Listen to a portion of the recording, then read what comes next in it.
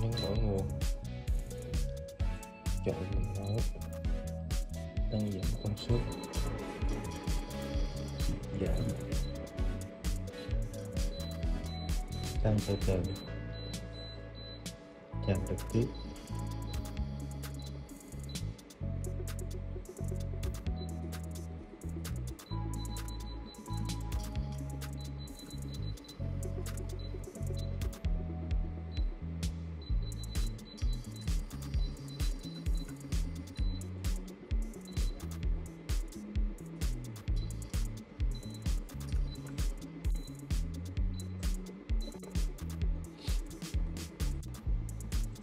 Chức năng công suất tăng cường. Tắt chức năng công suất tăng cường.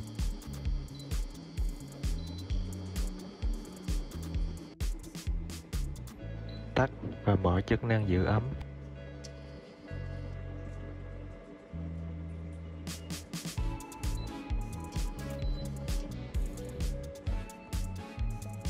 Chức năng kết nối vùng nấu.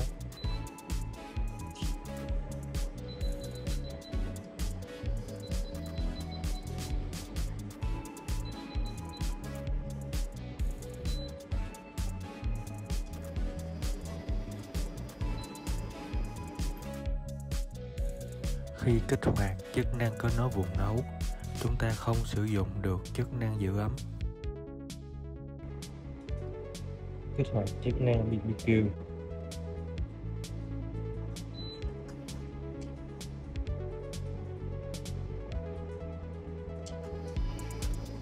tắt chức năng BBQ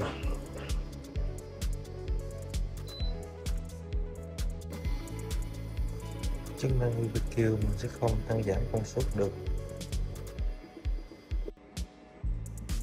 Chức năng hẹn giờ, chọn vùng nấu cài đặt đồng hồ. Nhấn cộng để tăng giảm, tăng thời gian. Nhấn từ để giảm thời gian.